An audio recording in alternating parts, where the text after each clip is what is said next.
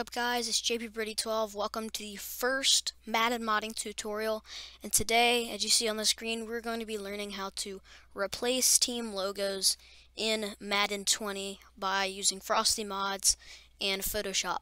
So for this, uh, the things you're going to need is obviously Frosty uh, editor, you need Photoshop, and then you're going to need um, Stingray's um, AST editor, which I will also link, I'll link in the description.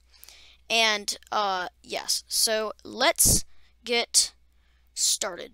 First thing you're wanna, gonna want to do is, of course, open up Frosty.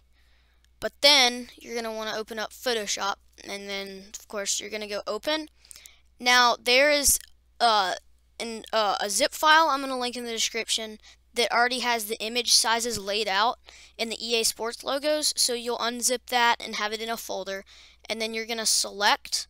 So you'll have the folder. So you'll go here and then you'll select all of them. And you do not want to load transparency as alpha channel on any of them. So you're just going to click OK, OK, OK, OK, OK.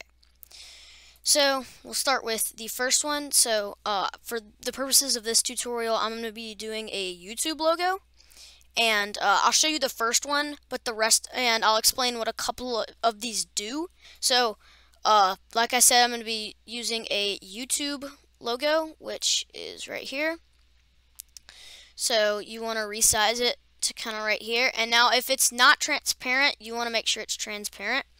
And you're going to go to layers and you're going to disable that EA Sports layer. So once you've done that, you're going to go, of course you have Intel TextureWorks uh, already uh, installed um, so you're going to go save as, and you can save it, you can overwrite these. So you'd go to file 0055 in this case, uh, save it as a DDS, so save, and yeah, of course I want to replace it. And so you want to go color plus alpha, BC3 8, 8BPP linear, uh, no bitmaps. And so that's going to create the correct image. So once you've saved that, you can close that out. And uh, so then I'm going to tell you what these two logos do. I'm not really sure about the others, but I know this logo is the front logo um, on the uh, EA Sports.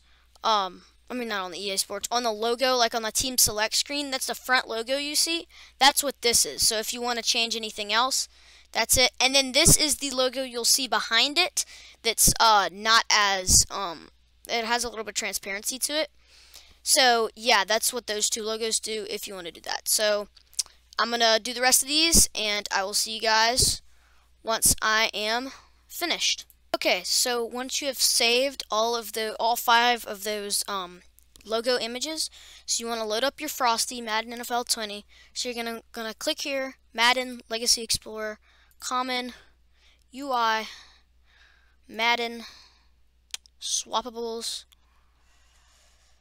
and teamlogos.ast. Now once you're there, you're going to right click, hit export, and just you can save it in the folder that you um, you made the logos in. So once you've done that, now you're going to, so for this tutorial, we're going to be replacing the Chicago Bears logo. Um, and I'm going to show y'all how you can figure out what the number is associated with these logos. So you open up the AST editor here. So you're going to go File Open, EA logos, team logos.ast. So, of course, I'm going to know that zero is going to be the Chicago Bears. But if you're doing a team other than the Bears or you don't know what they can do, you can go, um, go edit, uh, extract all, um, decompress all files, and then you can save it. And then once you've saved it, which I've already saved it, so I'm going to go to desktop where I saved it. Uh, it's right here. So right here, you can see all of the logos. So as you can see, the Chicago Bears, I don't, I don't know why that's even there, uh, to be honest.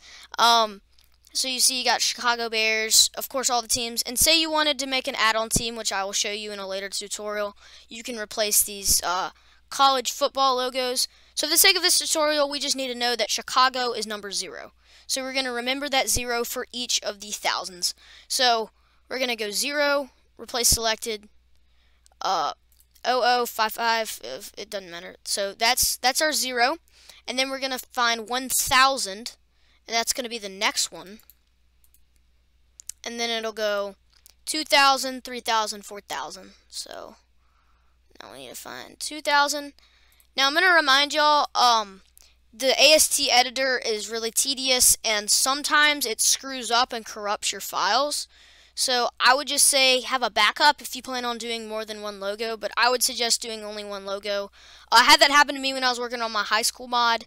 Uh, I had a bunch of teams imported and I didn't save it and I had to restart. So yeah, so enjoy the rest of the tutorial. Um, so 3000 and then finally 4000 replace selected okay now when you save the AST go file save as you can name it whatever you want I would recommend naming it on uh, what you what has already been imported so we'll say YouTube logo done something like that um, so it's easier to remember when you're looking through your files and say one got corrupted. Oh, I can go back so I don't have to restart all my progress. So we'll close out that. And now we're going to go into Frosty. Now, I want to close this because it won't show the preview. You go to Import, uh, go back to EA logos, and you click YouTube logo done. And just to show y'all, here we have the first logo there. And I'll try and find it. There it is. So, as you can see, Alpha's looking nice.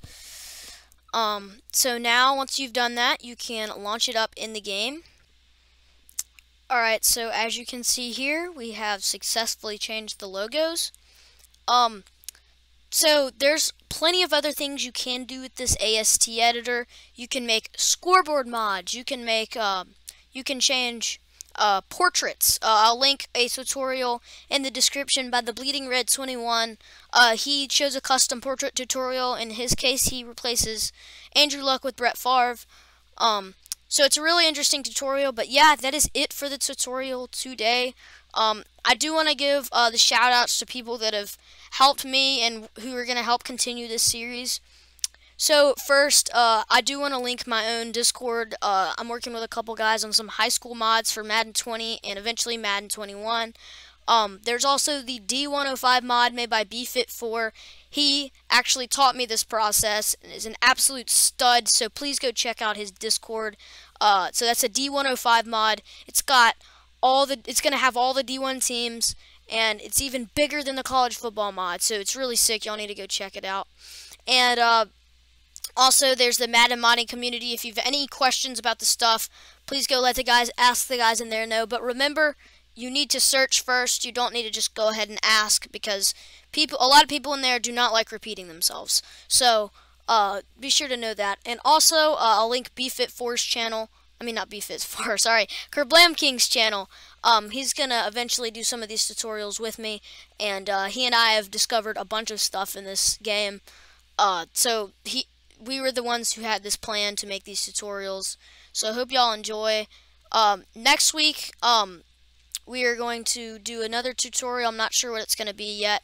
Um, and also, if y'all have any tutorial requests, just let me know in the comments. Uh, that too. Alright.